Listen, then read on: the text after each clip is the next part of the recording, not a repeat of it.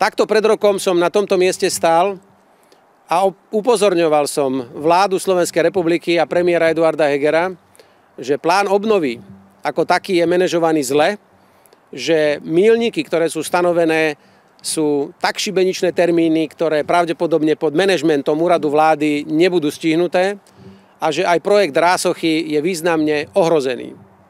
Naozaj takto zhruba pred rokom z tohto miesta som ho na to upozorňoval. Žiaľ, dnes tu stojím a za mojim chrbtom je presne to, čo som tu ako premiér zanechal terajšej vláde.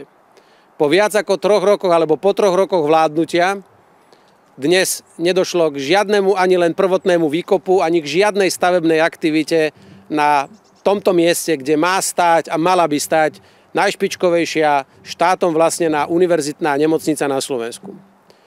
Vláda Eduarda Hegera zlyhala vo všetkých krokoch. On síce veľmi rád a teatrálne rozpráva, aké najväčšie reformy v histórii existencie Slovenska sa pod jeho vedením dejú. Aké významné investície do slovenského zdravotníctva idú a dokonca s pošmeškom sa vyjadruje, že ja som to tu bol nejakým spôsobom len búrať, ale on buduje. No tak sa teda spolu pozrime, ako pán Heger buduje na týchto základoch, ktoré sme mu tu nechali. Výsledok nula